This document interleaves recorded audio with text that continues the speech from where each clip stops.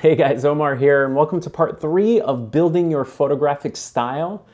And what's hilarious is these videos have not gotten many views compared to like, let's say a lens review or like camera talk. And it's funny, it's like this stuff will make you a better photographer, working on your images, working on your composition, work, like getting out there and shooting, but it's kind of sad that like the videos we like to watch are gear, gear, gear. But anyway, back to the point. I've been making these videos to stop people from buying presets. Stop buying presets that are already pre-made. I mean, a lot of them are really nice, but you can build your own presets based on what you like. You just have to understand what the presets are doing. Now, most presets are uh, attractive because of their color look. Um, so today we're gonna talk about color a little bit. So in the first video, we talked about picking your curve uh, you can either have an S curve, which has a lot of contrast, or you can have uh, what I call mid-tones up, which is a little bit of softer or more like a normal photograph, how it comes off the camera, like a JPEG. Then second, we build on top of that and we added a fade or no fade to your photograph. Now you gotta be careful with the fade because the fade could be a fad. So I have a feeling that the super fade, the, like the really super, super fade may uh, like fade out. Stop it. My philosophy is anything that you love, like if you're crazy about a look, half it, half it, so that you can tone it down a little bit and work from there. Okay, so we got our curve, we have our fade, no fade. Let's talk about color. You can either have no color normal color, or we can saturate or boost up the color of our images. All right, so let's start with our black and white. Let's start with this mid-tone up curve, okay? So what we're gonna do is we're gonna black and white it here. And this gives you like a normal black and white, but you can make your own black and white look by messing with the stuff we talked about in the first two episodes. So this is just mid-tones up, which I consider kind of like normal photograph. Very simple, very timeless. But if, remember, if we want to increase our fade, so now this one is the most faded. We have midtones up and we're very faded. So that could be your black and white look. We could also keep that fade and make this an S-curve. So we can bring this highlights up and then bring this down, the shadows there.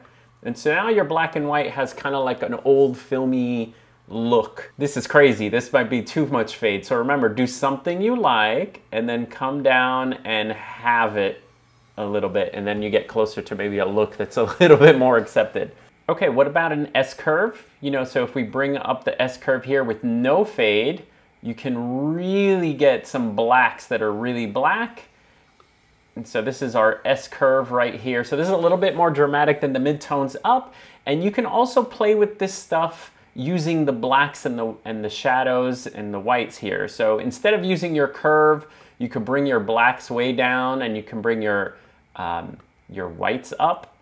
And that also helps you get kind of the same look as a curve. So feel free to use whites and blacks instead of your curve. So as you can see, you can remove the color, but still have the stuff in your foundation, that curve we talked about and the fade. Okay, so now I'm going back to my midtones up look and let's mess with saturation. Now, you don't wanna use saturation because it will mess with skin tones, so you kinda wanna use either your vibrance. If you bring up your vibrance, you can see her hair there.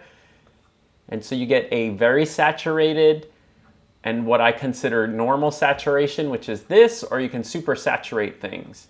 You can also go down in most editing programs, you can actually just pick colors. So if you notice the green in the back here, this green can uh, boost up. So you can boost up your images to either be mostly very vibrant, very colorful, or not so colorful, okay?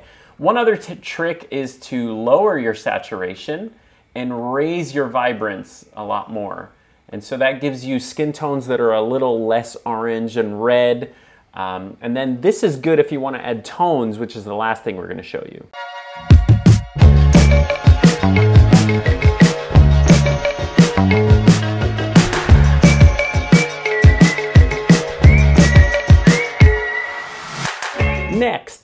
Cool you are.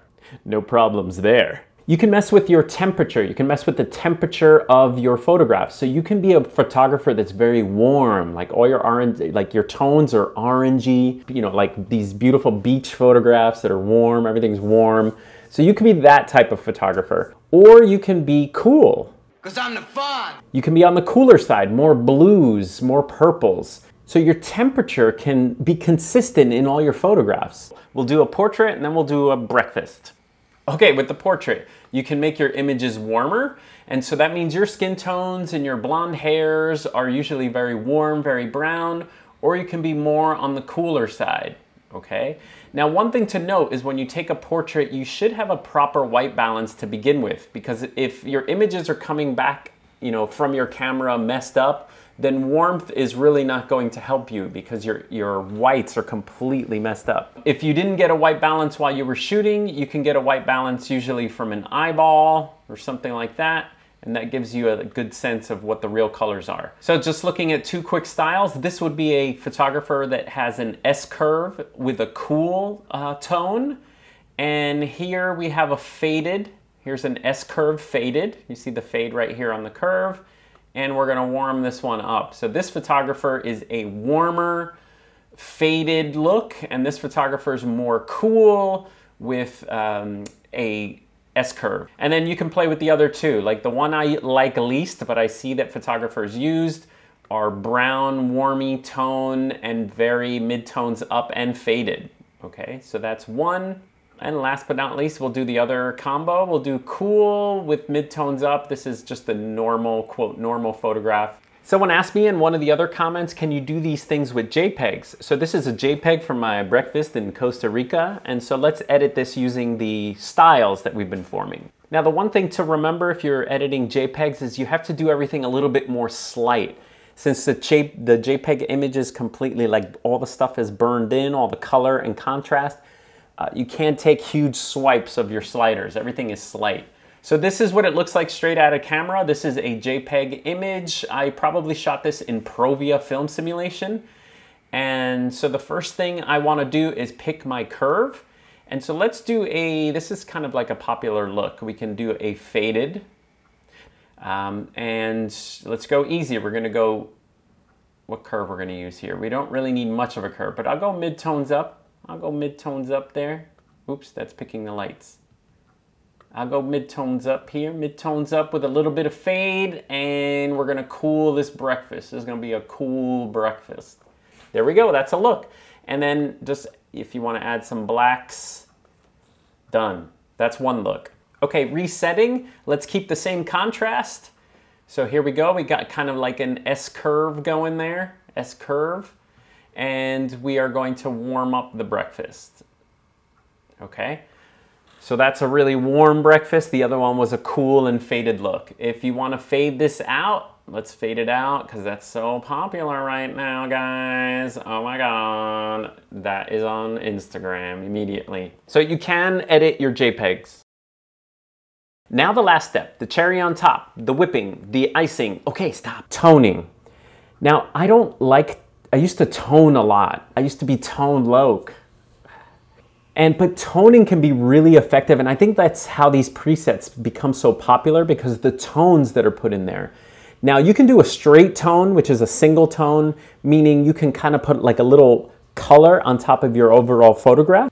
Or you can do what's called split toning or even three-way toning where you can just tone the shadows. Like someone's hair will be more blue and someone's skin will be a different tone. Let's start with adding one tone to the photographs. Let's say you like brown. So on Lightroom, if you hold down the Option key and just slide this hue around, you will see different tones. So let's say someone likes brown-ish. So this is kind of brown and yellow. I'm gonna let go. And now I can bring my saturation up and I can tone the entire photograph. Okay, so that's a just adding one brown tone to all the photographs. Let's do it to the breakfast. Let's reset. Let's add a little exposure here because a little exposure. And hey, I like that. Where is it? Where is it? It's my brown. I do everything in that brown. Let's tone it up, tone it up. There we go. So it kind of acts like temperature if you use brown. Okay, so you can tone all your photographs, and the thing is, it will tone everything and give that consistent look. Here's another way you can do it. Just put your saturation all the way up and actually find the color you want. And if you're a brown toner, you can find the brown and then bring it down to your liking, and you could always have the same tone. So that's toning just with one tone. And I just toned the highlights there. You can actually do the same thing to both the highlights. Let's bring the saturation up of the shadows, find that brown that you like, and then you can tone that too. So this has an overall brown tone. But what most presets have, and most presets that people sell, uh, were called split toning. Split toning is your shadows and your highlights. So what we're gonna do is make the highlights one color and make the shadow another color.